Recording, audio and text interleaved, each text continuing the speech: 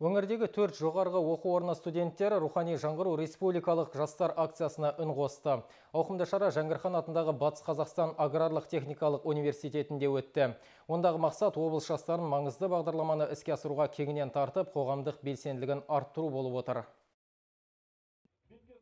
Жастар қоғамның қозғаушы күші, сондықтан ел ертеңі деп үміт артқан буын рухани жаңғыру бағдарламасын жүзеге асырудан тыс қалмақ емес. Туған жерді сүйіп, елге еңбек етуде рухани жаңғыру деді жастар алдында сөз алған белгілі альпинист Мақсұт Жұмаев. Жалпы акция жастардың қоғамдық белсенділігін арттыруға бағытталып отыр.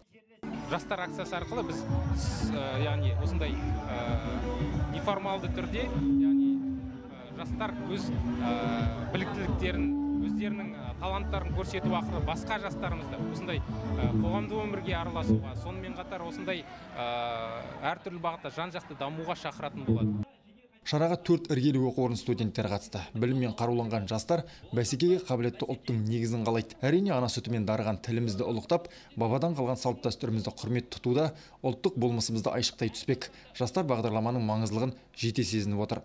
Елімізде болып жатқан әрбір жаңалықтарға әрбір өтіп жатқан іс шараға жүрегіммен жаным ашиды. Және де рухани жаңғыру мақаласын оқи отырып біз болашақ қазақстанның болашағы қандай екендігін көріп отырмыз.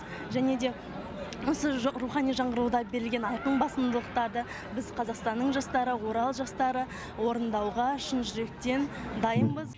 Акция түрлі ойын сауық шаралармен өрілді. Жастар өнерлерін ортаға салып білім викториналарында сынға түсті. Ал жас көшбасшылар мен қоғамдық ұйым жетекшілері жеткен жетістіктерін жария етті. Шара соңы флешмобпен аяқталды. Рауан ербол меңдалиев нұржан ғимранов қазақстан урал